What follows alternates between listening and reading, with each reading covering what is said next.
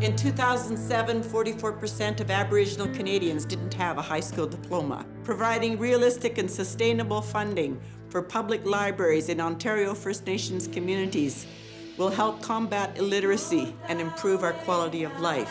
It's a huge return for a small investment. Join me and speak up for Ontario First Nation public libraries today.